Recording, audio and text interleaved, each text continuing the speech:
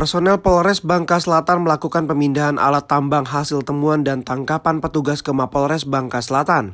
Kepala Bagian Operasional Polres Bangka Selatan AKP Surtan Sitorus mengatakan pemindahan barang bukti ke Mapolres Bangka Selatan ini dilakukan agar barang bukti tersebut lebih aman.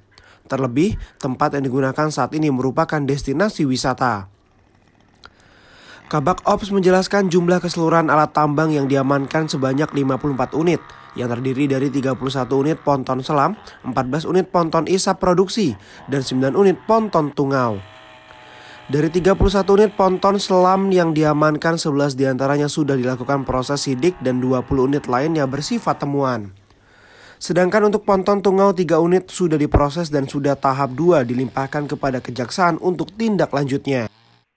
Kita Polresta eh, Bangka Selatan hari ini melakukan kegiatan eh, apa pemindahan barang bukti.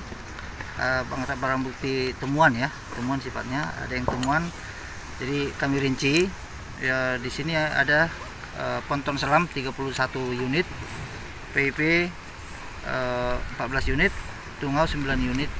Kemudian saat ini yang sedang proses sidik ada 11 itu ponton selam kemudian uh, 20 yang uh, masih sifatnya temuan kemudian tungau uh, tiga yang saat ini sudah P21 ya.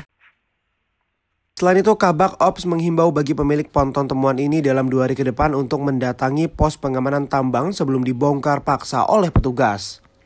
Dari Tobuali, Bangka Selatan, Eko Septianto Rasim, TVRI Bangka Belitung melaporkan.